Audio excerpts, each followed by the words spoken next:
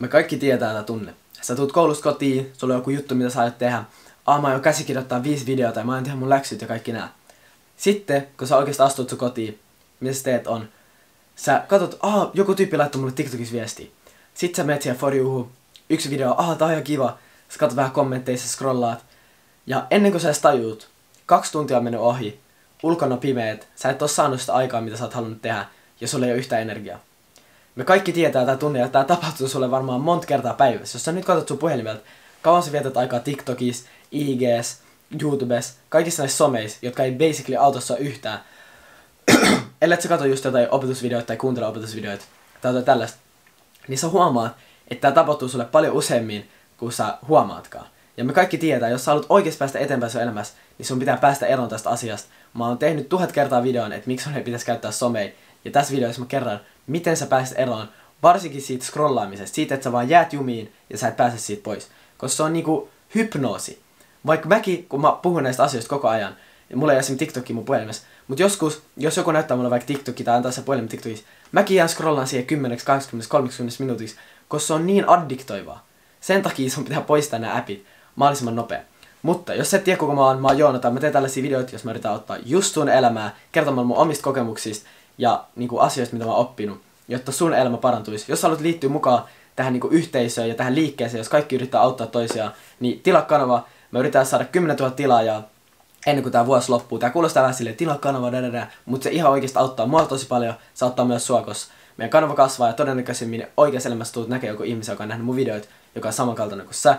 Ja jos haluat auttaa mua niin kuin ylipäätään, mulla on IG, se löytyy descriptionista, jonata.lindholm. Mä en silleen postaa sinne kauheasti, mutta sä voit käydä seuraan, jos sä haluat, koska se auttaa myös mua paljon. Ja tästä scrollaamisesta, niin kuin, tää tekee oikeasti ihmiset niin tyhmäksi. Esim. me oltiin eilen, me oltiin syömässä mun kahden kaverin kanssa. Ja mun yksi kaveri, niin kuin mä en nyt aio tehdä mitä se teki, mutta se vaan kattoo, se vaan kattoo eteenpäin tälleen. Ja yhtäkkiä se teki se silmä, se silmät vaan, se niinku viisi sekuntia, se ei niinku ollut tässä planeetassa. Se vaan katsoi sivulla, se teki jotain tällaista, heilutti se päät. Mä olin silleen, mit, mä olin silleen, mitä sä teet? Sitten oli silleen, se ei edes itse huomannut. Sitten mä kysyin, mistä johtuu. Se sanoi, että jos sä katsot liikaa sun puhelin, niin sun silmi alkaa sattua. Ja tiedätkö tolleen. Mut se näytti hullut, se ihminen näytti hullut. Niin kuin, mä oon nähnyt mont, muutkin ihmiset, jotka tekee tälleen. Mä tiedän, se voi johtua jostain toisesta asiasta. Mutta ne vaan istuu näin. Ja sitten ne vaan tekee jotain, he, heiluu vähän. Tai kat, katsoo niiden silmillä johonkin. Ja se johtuu siitä, että sä oot kattonut liikaa sun puhelin, sun silmiin sattuu. Ja tää oikeesti tekee ihmisistä hullui. Ihmisten ei pitäisi olla tällaisia. Ihmisten pitäisi olla niinku elämässä luonnossa tälleen. Eikä, että niiden aivot ei toimi. Että joku viiden sekunnin videot on sekoittanut niiden aivot. Että ne katsoo jotain neljöä ja siihen tulee jotain pikku valoi ja sun aivot menee ihan sekaisin siitä. Ja kaksi vuotta sitten, että tää oli mulle normaali tilanne. Että mä vaan katson mun puhelin tuhlassa mun aikaa. Mutta sitten yhteen päivän mä tajusin, että mulla on rajallinen määrä minuutteja. Mulla on rajallinen määrä tunteita tässä maailmassa, mitä mä oon. Ja jossain kohtaa mä vaan lähden tästä pois. Joten mä en voi tuhlaa mun arvokkaita ihmisvuosia tässä maailman päällä, varsinkin kun mä oon nuori, siihen, että mä vaan katon jotain mun puhelinta ja mä teen muille ihmisille rahaa ja mä autan muiden ihmisten bisnestä. Ja varsinkin sille, sille mä mielelläni autan jonkun ihmisen bisnestä ja teen sillä rahaa, jos se yrittää auttaa mua. Että jos mä ostan vaikka ravintolasta ruokaa, mielelläni mä autan niiden bisnestä, koska se antaa mulle ruokaa. Niin sama näissä someissa sun pitää miettiä, haluatko sä auttaa niitä ihmisiä, ketkä tekee jotain viihdytysvideoita, että sä vaan vähän naurat, vaikka sä et oikeasti edes nauraa, ja tällä, haluatko sä auttaa niiden bisnestä? Vai haluatko sä niin kuin, tehdä sun oikeassa elämässä jotain, tai haluatko sä vaikka katsoa tämän kaltaisia videoita, jotka oikeasti auttaa sun elämää?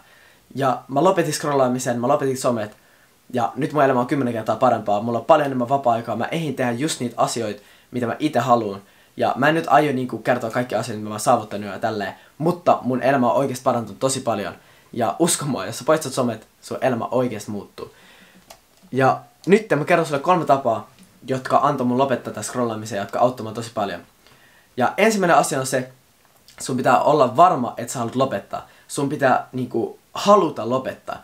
Koska jos sä haluat lopettaa, se on silti tosi vaikea lopettaa. Mutta jos sä et edes oikeasti halua lopettaa, se on mahdoton lopettaa. Joten mä en tiedä mitä mun pitäisi tässä sanoa sulle. Tää on niinku, sulla on kaksi vaihtoehtoa se elämässä. Olla niinku normaali ihminen tai olla niinku poikkeuksellinen ihminen. Ja sä, susta ei mitenkään voi tulla poikkeuksellinen, susta ei mitenkään voi tulla tosi tosi hyvä jossain asiassa, jos sä haluat olla normaali, jos sä haluat tehdä just sitä, mitä muut ihmiset tekee. Joten tässä kohtaa päätös on sun. Haluatko sä niinku tulla meidän kanssa tälle matkalle mukaan ja yrittää parantaa sun elämää, vai haluatko vaan katsoa TikTokia? Mutta jos sä oikeasti haluat parantaa ittees, niin silloin tänne ei pitäisi olla ongelma sulle, että sä et halua lopettaa, niin kuin, niin kuin, tai sen on pakko olla sun mielessä silleen, että sä haluat lopettaa some-scrollaamisen, koska niin kuin, haluat kehittää itseäsi tälleen.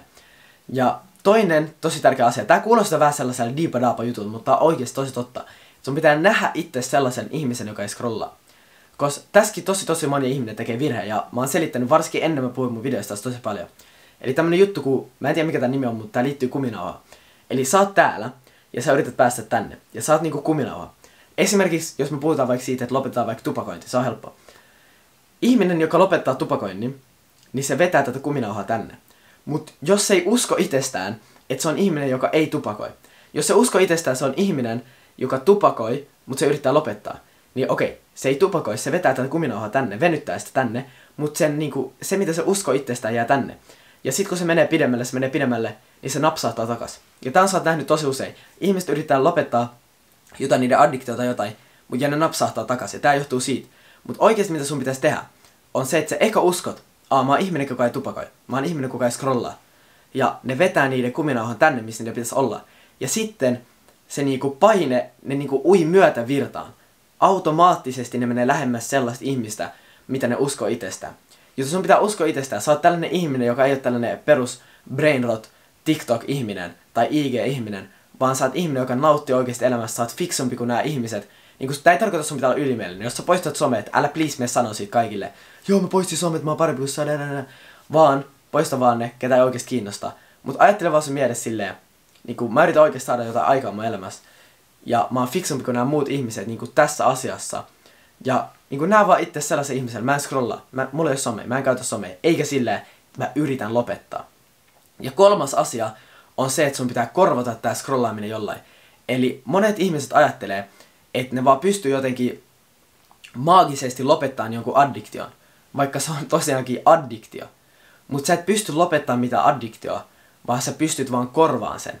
Eli jos sulla on nyt joku juttu, mitä sä haluat lopettaa tekemästä, niin sun pitää korvata se. Sun ei pidä lopettaa sitä, koska silloin sulle jää tyhjää aikaa.